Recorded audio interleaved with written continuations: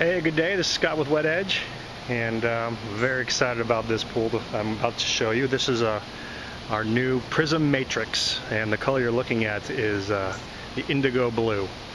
And the, what makes the Prism Matrix different or new is uh, we're taking our nice round smooth pebble, in this case our gray stone from New Zealand, and we're throwing in a bunch of whole bunch of glass bead iridescent. Uh, you see some kind of flat, kind of turquoise colors there, and ocean blues, and it's a great effect, and it feels it feels great for a pebble finish. You know that all that glass bead just helps with the texture.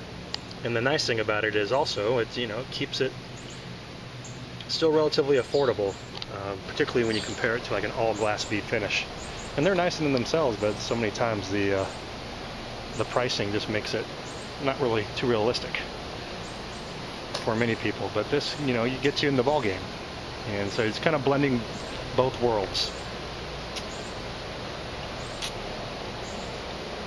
But it's a beautiful job, and what I like is you probably won't be able to picture on this camera, but even even down there by the uh,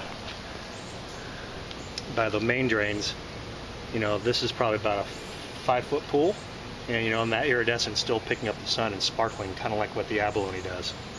And we also put abalone in this mix as well. And you can kind of see that bench, but it's great exposure, wonderful texture.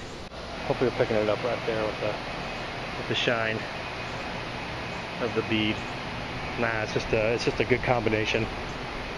You know, when you put, uh, when you take nice smooth round bead and put it with smooth round stone, yeah, I, I think you really have something special. So once again, this is uh, the new Prism Matrix, uh, Indigo Blue. I'm get wet.